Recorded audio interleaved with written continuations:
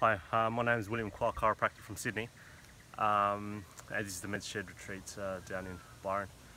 Uh, what I came here initially for was I felt I had some uh, internal blocks within myself, uh, being a practitioner, father and husband.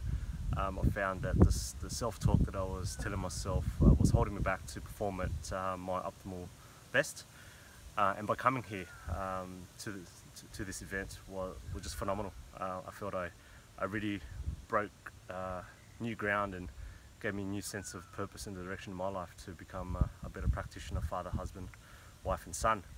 Um, so I would encourage you to, uh, to, to really consider if, if you're, you're stuck and you, you want to break free and uh, to really challenge yourself because the, the more you put in, definitely you'll get out of this. And uh, awesome. So it was excellent time, excellent here.